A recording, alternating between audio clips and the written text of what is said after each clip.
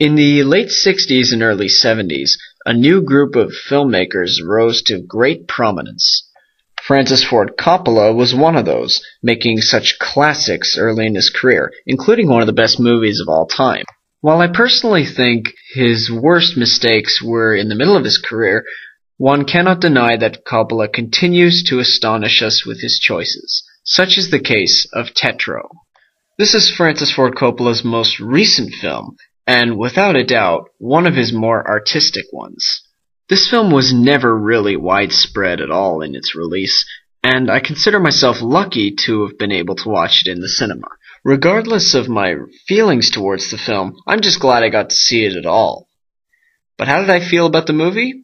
Well, I feel about the movie about the same way I feel about Bad Lieutenant Port of Call New Orleans. It takes a storyline that seems very cliche at first, but then adds a whole unique twist to it. So the film opens up with Benny.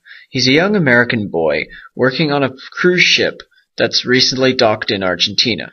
But this is in accordance with Benny's plans because he's trying to make a surprise visit to his long lost brother Angelo, who has become a notorious recluse living under the assumed name Tetro.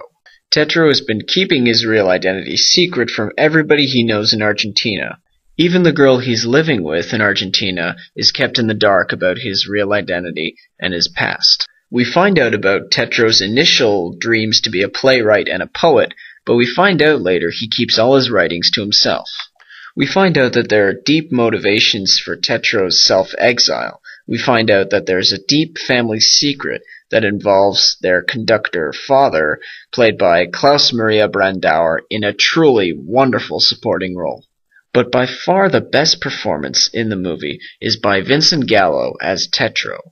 The way he just sits there staring deep into a light bulb, and also how he can just snarl and snap at people around him, it just reminds you of Sean Penn at times.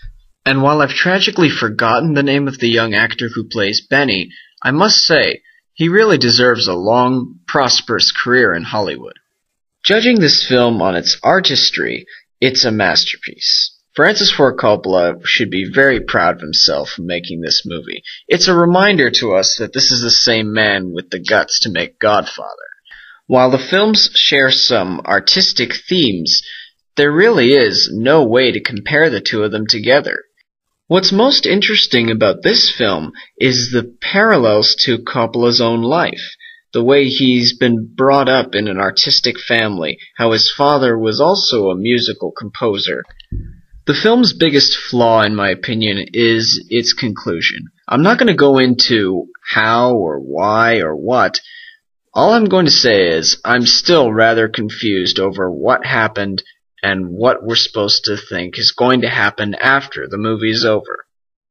But aside from that, everything in the movie was pretty good, and the artistry itself made it very unique and very interesting to watch.